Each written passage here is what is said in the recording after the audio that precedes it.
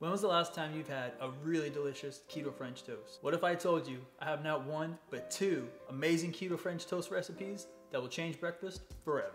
I'll be sharing a traditional version, a high protein version, and I'll be sharing some tips that will take your French toast to the next level. So let's just get into the recipe. So this French toast recipe is for four slices, but you can double it and make eight slices. So the first thing you want to do is take a medium bowl and add one large egg, half a cup of any milk of your choice. I used unsweetened almond milk. Half a tablespoon of brown sugar substitute. I used Swerve. Half a teaspoon of ground cinnamon. Half a teaspoon of vanilla extract. Quarter teaspoon of ground nutmeg.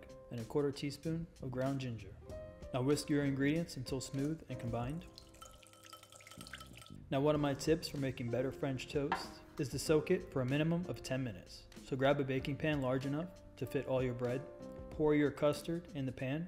The bread I used was the Sola 2 net carb bread. If your grocery store sells this, it'll be in the frozen food section.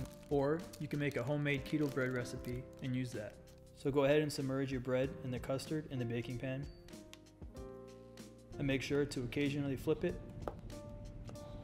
And after about 10 to 15 minutes, all the custard will be absorbed by your bread. Now it's time to cook your keto French toast. To do this, you want to grab a skillet and preheat it on medium high heat. And a trick to keep the bread from cooking too fast is to coat your skillet in neutral oil and then add the butter. This will keep the butter from cooking too fast and burning your bread. Once your skillet is heated on medium high heat, add your French toast. Once your French toast is on the skillet, lower the heat to medium. It should take about 4 to 5 minutes on each side for it to cook through. If you have any spots that aren't cooking evenly, you can position it on the skillet, that way just that part is making contact. Now another trick to keep the French toast from burning on the outside is to wipe out the skillet in between each batch. So go ahead and wipe it out with a damp paper towel and do the same thing. Add your neutral oil, your butter, add your French toast on medium-high heat. To prevent the custard from spilling, lower the heat to medium and cook it 4 to 5 minutes each side. After you finish cooking your batch of French toast, you can top it wherever you like, but I just try to keep it classic. Powdered sugar substitute, butter, and sugar-free syrup. Now enjoy this unbelievably keto classic French toast. So this version is more of a classic French toast. Of course you have to top it with some butter, some powdered sugar substitute, and some sugar-free syrup. So let's give it a try. It's a big difference, letting the bread really soak up the custard or the mixture. Cheers. Everything about it, it tastes just like a classic French toast. It's crazy. If you use the tips I gave you to make this French toast, even though it's keto, it's still gonna be delicious and it's still gonna be on a whole nother level. And of course the macros on this French toast make it even more amazing. 2.3 grams of carbs, 4.3 grams of fiber, and only one gram of sugar per slice. If you want a French toast with all the taste of the classic version, but none of the guilt, this is the recipe you need. So this high protein recipe makes six slices of French toast. So the first thing you wanna do is grab a medium bowl and add two large eggs, three large egg whites, or a third cup of liquid egg whites, one teaspoon of cinnamon, half a cup milk of your choice. I use unsweetened almond milk, half a cup of protein powder. I use Dymatize Fruity Pebble Whey Isolate. If you're interested in purchasing this, there'll be a link in the description. And a half a teaspoon vanilla extract. Give that a whisk until combined. Now, grab a baking pan big enough to fit all your slices of bread. Add your custard mixture to your baking pan.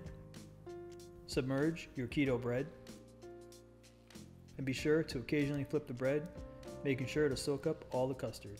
Now while the French toast is soaking, let's add some more protein. I use Magic Spoon high protein low carb cereal. If you're interested in purchasing this, there'll be a link in the description. Add one and a quarter cups of the Magic Spoon to a Ziploc bag. Crush it to panko sized crumbs. And put that in a large bowl. I also made a protein frosting, which consisted of 3 tablespoons of non-fat Greek yogurt, 3 tablespoons of the Dymatize Fruity Pebble Whey Isolate, a quarter teaspoon vanilla extract, and 2 tablespoons unsweetened almond milk. Mix that with a spoon and set that aside. Once your French toast has been sitting in the custard for a minimum of 10 minutes up to 15 minutes, go ahead and coat it in the Magic Spoon cereal.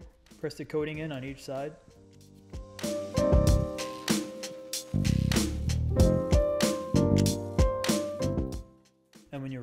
cook your French toast just like you did the classic version. Add the neutral oil, one tablespoon of butter, and add the high protein French toast on medium high heat to keep the custard from running and once on the skillet, lower the heat to medium. This one will cook a little bit faster because of the egg whites, so it should take about three to four minutes each side. Once all your protein French toast is cooked, go ahead and plate it. Add your high protein icing, some more crushed Magic Spoon cereal.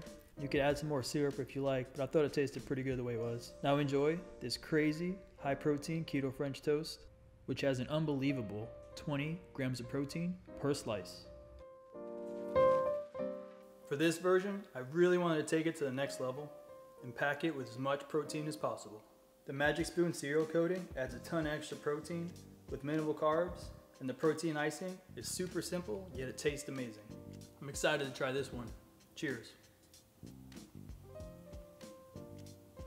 That is one of the craziest French toasts I've ever had. There's so much going on. The icing has a little bit of sweetness. The Magic Spoon gives it a nice crunch. The Fruity Pebble custard with the Fruity Pebble icing with the Fruity Magic Spoon cereal. You'd think it'd be overly sweet with all the extra components, but actually it tastes amazing. I just need to start a food truck and start selling this. It's that good. And the macros, five grams of carbs, three grams of sugar, and 20 grams of protein per slice. If you're looking for a low carb, high protein breakfast idea, this recipe is perfect for you.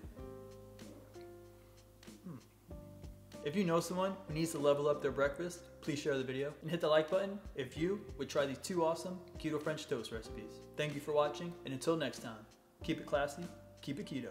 Keto Craft Kitchen out. If you're looking for a protein packed brunch idea, check out this keto frittata video here. And for all my keto breakfast recipes, check out this playlist. And for future content, please subscribe. Música